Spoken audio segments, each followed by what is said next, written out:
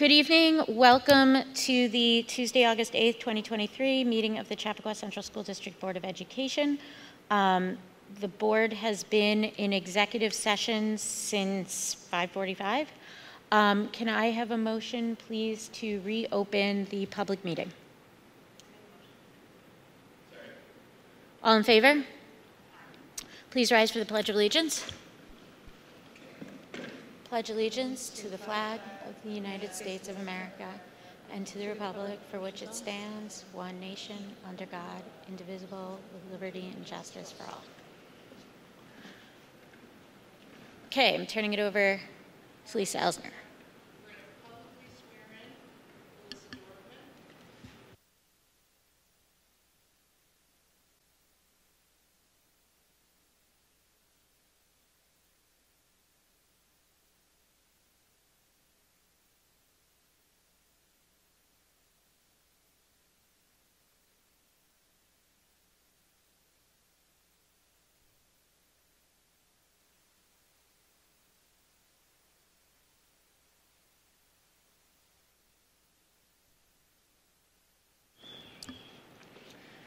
Okay.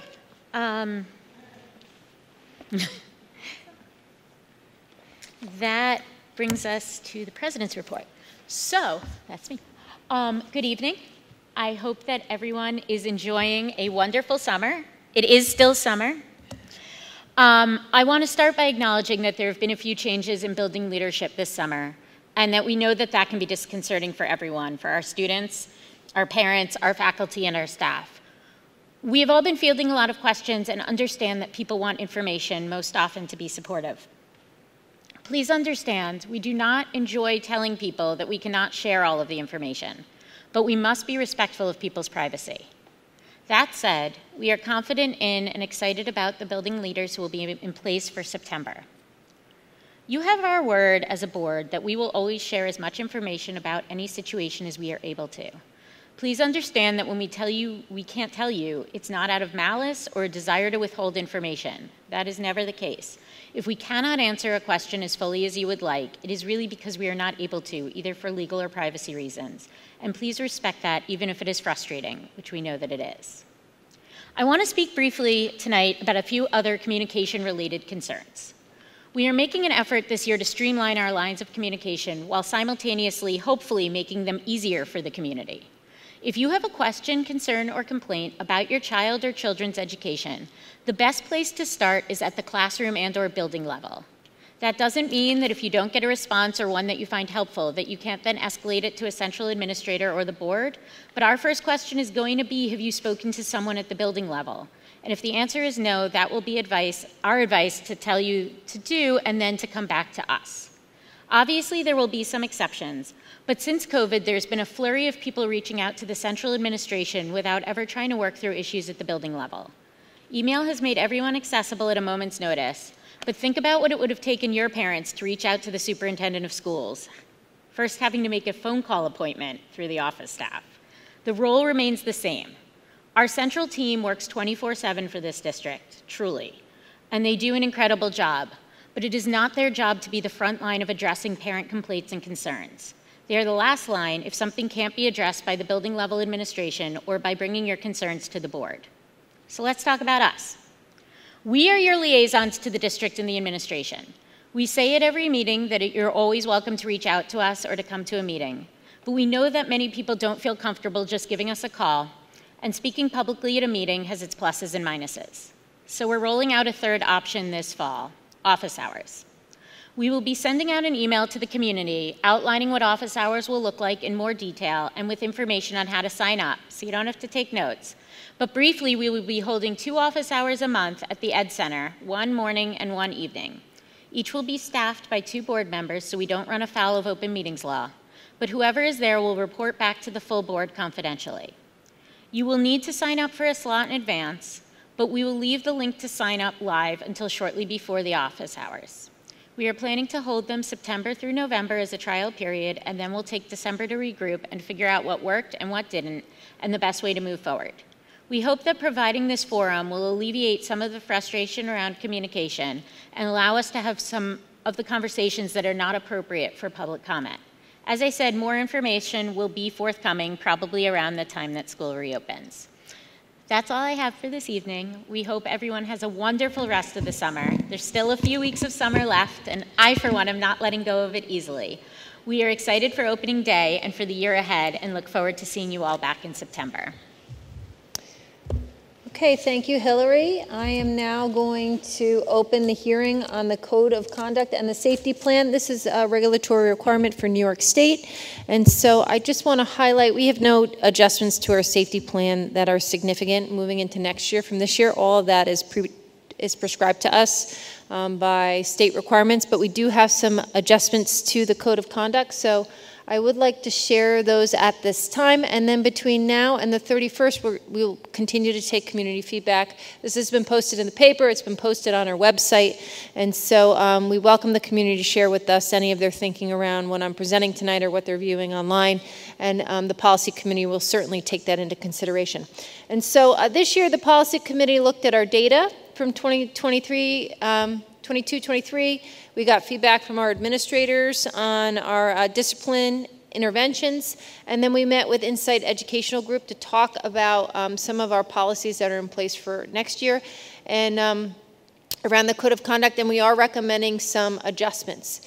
So the first um, recommendation is that we remove any language that um, doesn't allow for students to engage in a restorative process uh, if they reach the superintendent's level for an intervention, which would mean that I, I would meet with them um, and their parents around an infraction that uh, may result in a suspension greater than five days out of school.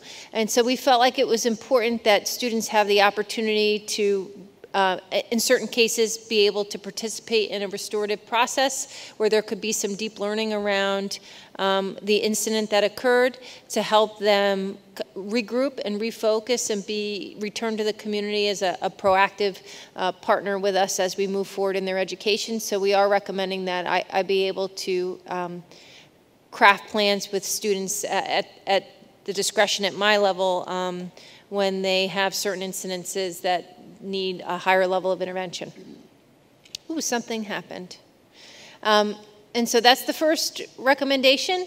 The principals can already engage in that process with our kids, and it's, it's happening um, moreover at the high school than it is at the, at the middle level. The second adjustment is around, oh, now, can you just move me, please?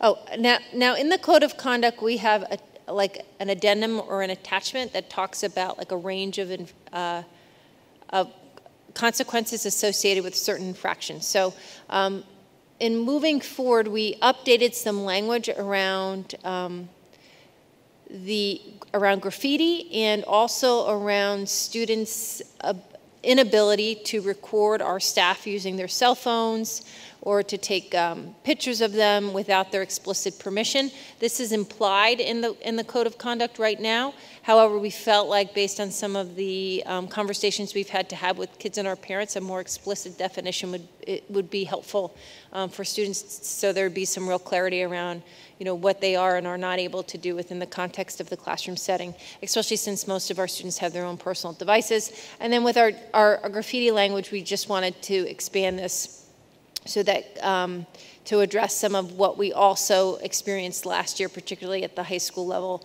as we look to intervene when students um, create or display images that are harmful to, to, to other groups of our students based on their identity. And then probably the biggest shift that we worked on Insight with is we're now um, evolving our response when students engage in um, incidents that are categorized as discriminatory or hate speech or um, they have an element of bias attached to them. And so um, what I would share with you is that the majority of the incidents that fall within this category are hate speech. And the policy was originally designed to um, protect and support students who were subjected to hate speech based on their identity. But what we were finding last year specifically is that the students who were uh, who this policy was intended to support and to protect were actually being um, held, held um, accountable to, to the policy itself. And so there was a, while its intent probably at the time when we crafted it was one of clarity and, and, and, um, and lack of flexibility around our interventions. What we found over time is that that approach actually started to harm the kids that it was intended to be designed to support. And so what we'd like to do is we'd like to move for, forward with more of an in-school based model for our middle school students on the first offense in both fifth, sixth, and seventh and eighth grade, but, but um, create a, a, different intervention for our five, six students when compared to middle school. And then instead of having like a two offense um, chart, we pushed it out to three so that the students at the middle level wouldn't receive a, an out of school suspension until they reached either the second or third offense typically. We also added a DEI learning experience at every, um, at every um, level of infraction here now that we've been able to move forward and hire two DEI coordinators and um, who will be on the professional development team um, who'll be able to craft lessons and help our students learn from their behaviors. And then at the high school level, uh, we still felt it was important that our students be suspended out of school for their first offense, but we also added that DEI learning experience. And then we, we scaffolded that out to three offenses as well. Um, just for the community's understanding, uh, we, for our high school students, typically uh, one intervention is enough what we found was at the middle level, we had students who were engaged in multiple infractions over the course of the school year. Um, so it was important that we, we change our approach to help support students at the middle level a little bit differently moving forward. So um, this is our proposed response. Our K through four students, uh, our, our principals work with the central office to, to, to, determine what's most appropriate based on what happens. There's a lot of context involved when an elementary student engages in behavior like this um, around understanding and meaning and intent. Um, but we did feel like this is probably a better approach for us to be able to support our kids in a way that um, will increase the learning and support around making better decisions when you uh, make a mistake that has a larger impact on the community. And those are the significant changes within the code of conduct. So at this point, since we're in the middle of the hearing, do any members of the community have any comments that they'd like the board to listen to specifically on the code of conduct? Okay. Um, you can email the Board of Education um, and, and me. You just please make sure you do that before August 25th so that we can take that into consideration as I, I work to present the final code of conduct for the board's consideration um, at our next meeting. And then the district-wide safety plan is posted. There's not much change to it. Um, they're all, again, regulatory requirements from New York State. I did remove language in there that said we'd be notifying radio stations. That's outdated. We don't need to do that anymore because of our telephone system and social media. Um, but everything in that plan pretty much aligns with what we've done in the past. The building specific plans are where our um, procedures and um, processes are outlined for each particular building to when they engage in certain emergencies, and that's not public information. Um, but the, this is like a broad overview of how we approach security and safety in this district. So um, are there any comments on the district-wide safety plan from the community? Okay, so at this point, I'm going to close the hearing.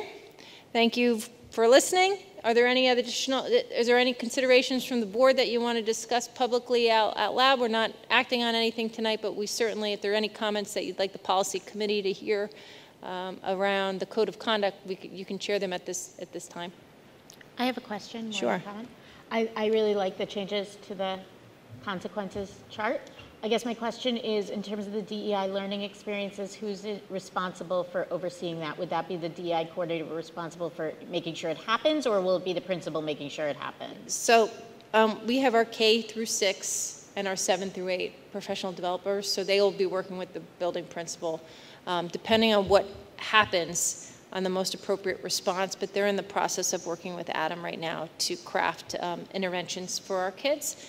And then um, we also know that we have Tanuke Kolpa in a, in a different role, but doing similar work. So there'll, there'll be times where she'll be involved too when, when students um, make an error that need that level of intervention. Okay, thank you. Okay, so I, am going to continue with the superintendent's report, if that's okay with everyone. So um, there's a very few highlights on the calendar, on the uh, agenda tonight. Uh, one of the most important, I think, pieces of information, which Hillary alluded to in her opening, is that um, Dr. Mazza is on leave, and we are asking uh, Laura Lynn Stewart, Dr. Stewart, who is the assistant principal of Horace Greeley High School, to step in as um, the acting principal at this time, and she has agreed to do so. So I have her on the agenda for your consideration tonight. Um, Lynn has been in the district as a teacher, as a principal. She's also a parent who's had children who have gone through Seven Bridges and has children in Seven Bridges next year. So she has a great, I think, perspective to lend to the the the Seven Bridges community. Um, I'm really excited that she um, is able to make this transition. I know that she's also a part of Greeley, so we're, we're going to be working to um, have an interim replace Lynn um, in the near future. So I hope to have that on, a, on an agenda for your consideration as well. Um, but Lynn will, uh, if pending her approval tonight, she'll be communicating out with the Seven Bridges parents and staff tomorrow, some opportunities to meet with her in the near future. So I'd like to to welcome Lynn to this to this role, and I and I know that um, our community at Seven Bridges will be very pleased. I think as they get to know her and her leadership style, um, as as our families are at Greeley. Uh, and then I'd like to turn it over to Adam. At a previous uh, meeting, we appointed June, but I would like him to just share publicly about our new DEI uh, professional developer for our, our K-6 faculty. faculty. Yeah, so Doc, thank you, Dr. June Wai. Um, we're excited to introduce her to the community. She comes to us with uh, 14, little over 14 years of educational experience. She's got um, a bachelor's from UC Berkeley, a doctorate from Columbia, a master's from Columbia Teachers College, um, extensive background in DEI. Her training is in ENL, teaching um, students that are learning English, um, which is also a kind of rounds out our professional development team in a nice way. So we're excited to um, have her here. She's she's been very involved in community work on the community end of her own community, but also in education for her career. So we're excited to have her on board. We're going to have her um, with us for a few days this summer, and then she'll start, you know, when school starts up at the end of August. Thank you, Adam. Um, I also, there is a contract on the agenda. We are going to be partnering with Global Operations next year to help us um, with our safety and security procedures and uh, protocols throughout the district. So we're really excited to be um, entering into this engagement with this um, expert community um, of security professionals who will be uh, on site working with us as we work with our new security company to um, lift the level of our safety protocols and processes throughout the district. Um, I just want to again remind the community we are moving forward and having and have started planning to um, have our license plate reader in place at Greeley, our school pass system in place for our students at Greeley. Um, we're in the process of installing our security barrier outside by the gym, which you can see if you're here.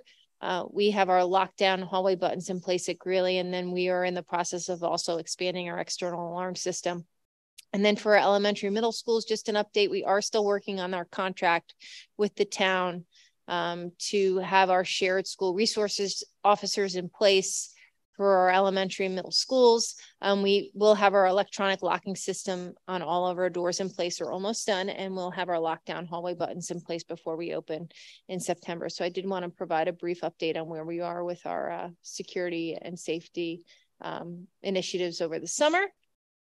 Uh, there are a number of, oh, so on, on the agenda tonight, we are doing a first reading of our regulation, which oversees our communities fees regarding facilities uses. We have nominal increases in um, what we're asking our community partners to pay to support their use of our fields. We have a 1% increase in our in our custodial fee to align with their contractual increase.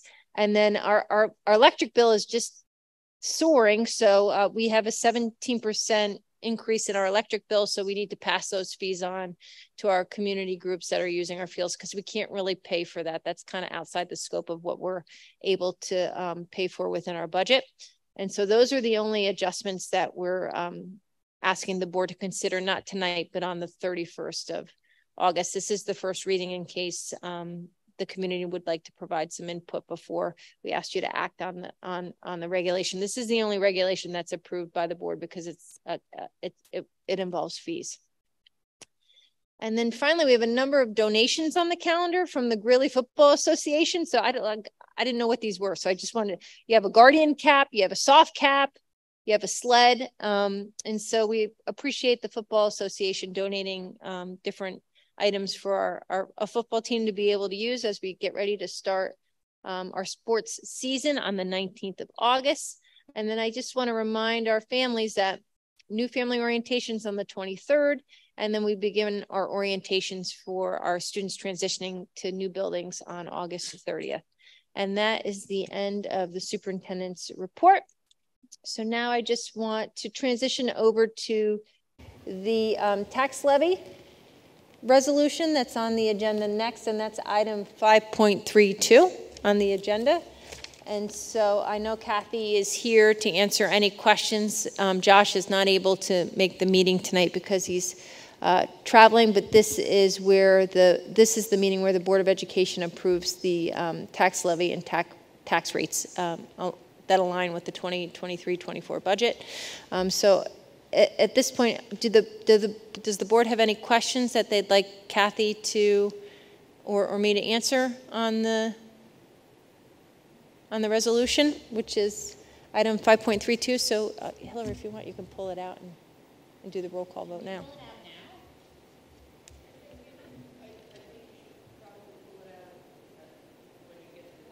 Okay. All right, so if there's no other, if there's no questions on the, on the tax cap, then that concludes the superintendent's report. Thank you. Um, so that brings us to committee reports. Does anybody have anything to report? Nope. Okay. Well, that was that was fast. Um, that brings us to the public comment period. So we welcome public comments, and in respect for each other's time, we ask that you limit your comments to three minutes.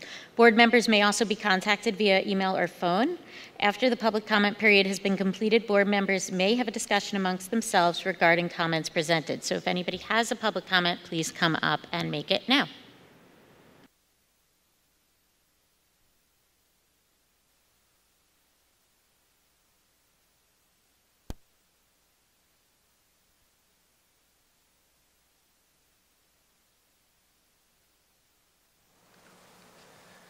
Hi, Tim McNamara. Had really a question for the administration. Uh, curious about how registration numbers have, you know, ended up towards the mid of the summer. I understand there was going to be a review of that, and curious if you can share now or at a future meeting where we are. Thank you.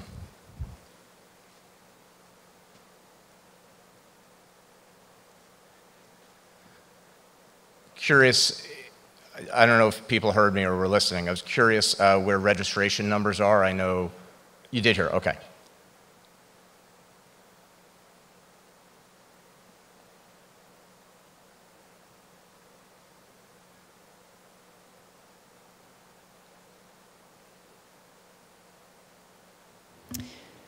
We haven't adjusted any of our sectioning at this time from our last meeting.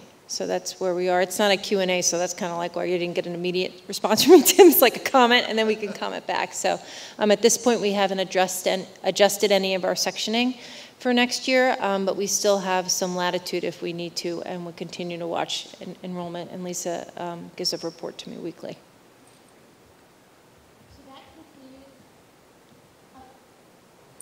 Oh, I just keep forgetting to turn it on. That concludes the public comment period um, which brings us to approvals and ratifications. Um, can I have a motion, please, for 3.1 and 3.2, which are the minutes of the July 6th and July 20th meetings, respectively? Any questions or comments? All in favor? Aye. Um, so I will move 3.3, which is regulation number 7,000, which is what Dr. Ackerman spoke about in the superintendent's report, which is the schedule of fees for community use of district facilities. This is a first reading. Um, Can I have a second? A second? Does anybody have any questions or thoughts on this? I remember asking this last time. Is there any reason why we wouldn't just round to a nice whole numbers on those amounts, just to make it simple? Well, we could do that. We're just trying to make it like the actual cost so people Yeah. understand like the formula, but I can round that up. Yeah, I'll round it just up. to make it simpler. Yeah. Okay, no problem. I'll email Josh right now. Any other thoughts, questions? Okay, so we don't vote on that because it's Nope. first reading. Okay, great. That brings us to four. Um, Can I have a motion, please, for 4.1? Oh, is that me? Yeah. Um, Can I, I I was just emailing Josh to round up. Sorry. Um, I recommend 4.1 instructional as presented. Can I have a motion for 4.1? Second? I'll second. Any questions, concerns? All in favor, please say aye. I recommend 4.2 non-instructional as presented. I move 4.2. Questions or comments? All in favor, please say aye. Aye. Okay, this brings us to the consent agenda. The use of a consent agenda permits the Board of Education to make more effective use of its time by adopting in a single motion to cover those relatively routine matters which are included. Any member of the board who wishes to discuss individually a particular piece of business on the consent agenda may so indicate, and that item will be considered and voted on separately, thus preserving the right of all board members to be heard on any issue. So my understanding is we are going to have to pull out two items, but we move this first and then we pull two. We're pulling out two items. So, yeah. But I move it first, right? Okay. I am going to move the consent agenda, which is items 5.1 through 5 point, bear with me, 38. Can I have a second? Second. All in favor, please say aye. Aye. Now, I'm going to move that we remove two specific items from the consent agenda. No, I have to do it each one individually? What?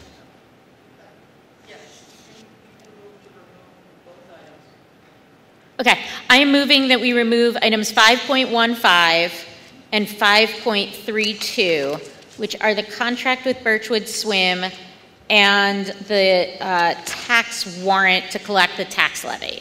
Can I have a second, please? A second? All in favor? Aye.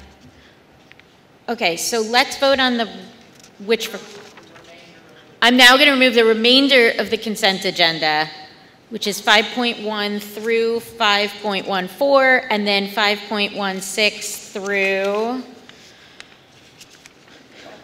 5.31, and then 5.33 through 5.38.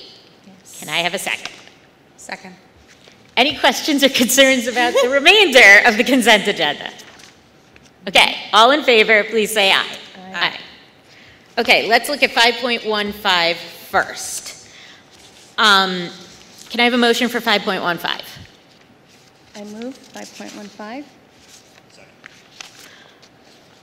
Okay, so 5.15, I'm just going to read it, is be it resolved that the Board of Education hereby approves an agreement with the Birchwood Swim and Tennis Club for use by the Horace Greeley Swim Club, uh, High School Girls Swim Team during the 23-24 school year and authorizes the Board President to execute the agreement. Do we have any comments on this? Just, that Yeah, at this time. Matt needs to abstain. I need to abstain. as this contract is between Matt and his other capacity as the manager That's of the. Birchwood Swim Club Yes. is, is why this whole rigmarole. Um, so My apologies. our apologies to you. Um, so are there any questions or concerns other than the fact that Matt is wearing two hats and is not going to vote on this? More than two, but just, All in favor, please say aye. Aye. Aye. Abs- and then you have to say abstentions. And any abstentions? aye. Okay. All right, and that brings us to 5.32. Can I have a motion, please, for 5.32? I move 5.32. Okay, 5.32 reads, whereas the Board of Education does hereby approve the execution of the tax warrant to collect the tax levy for the 23-24 school year in the amount of $119,574,460 for school district purposes and 3,544,337 for the Chappaqua Public Library purposes. So this has to be done as a roll call vote. Aye. Aye. Aye. Aye. Aye. Okay. And that was the most confusing consent agenda I think we've ever had. It was exciting. It It's very exciting. Okay, that brings us to six. Um, Can I have a motion, please, for items 6.1 through 6.7, which are acknowledging contracts uh, previously approved by the superintendent? I'll second. Any questions or concerns? All in favor, please say aye. Aye. Okay, um, that actually brings us to notice of future meetings. Our next meeting is Thursday, August 31st at 10 a.m. That's opening day for our faculty and staff, and we will be back here. Um, and our meeting after that is September 13th at 7 p.m., also here, uh, and that is the district performance report meeting. Can I have a motion, please, to adjourn at 7:37 p.m.? A second? All in favor? All right.